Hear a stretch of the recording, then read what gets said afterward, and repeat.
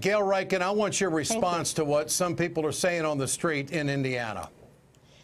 Well, the, the response is this. I, I, it doesn't surprise me at all. Um, people are concerned, uh, legitimately so, because they've read the bill or they've talked to their neighbors.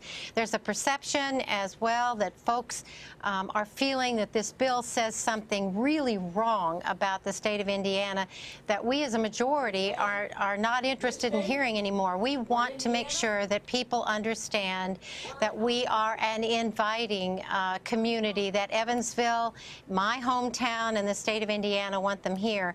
I don't know why this has been such a surprise to the governor and the majority in the House because its discussion has been going on ever since this bill came up.